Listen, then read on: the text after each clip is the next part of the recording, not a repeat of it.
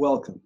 I'm Dr. Andrew Wilner, Associate Professor of Neurology at the University of Tennessee Health Science Center in Memphis, Tennessee. And today I'm here to introduce my new book, The Locum Life, a physician's guide to locum tenens.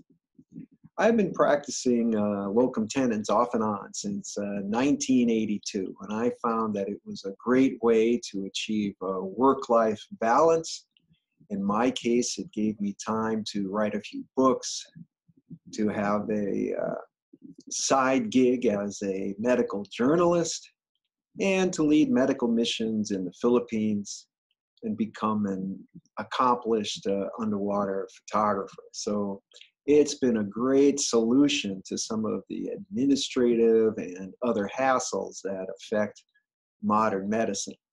So, in this series of short videos, I'm going to talk about the book and what's in it and why it might help you if you're considering locum tenens.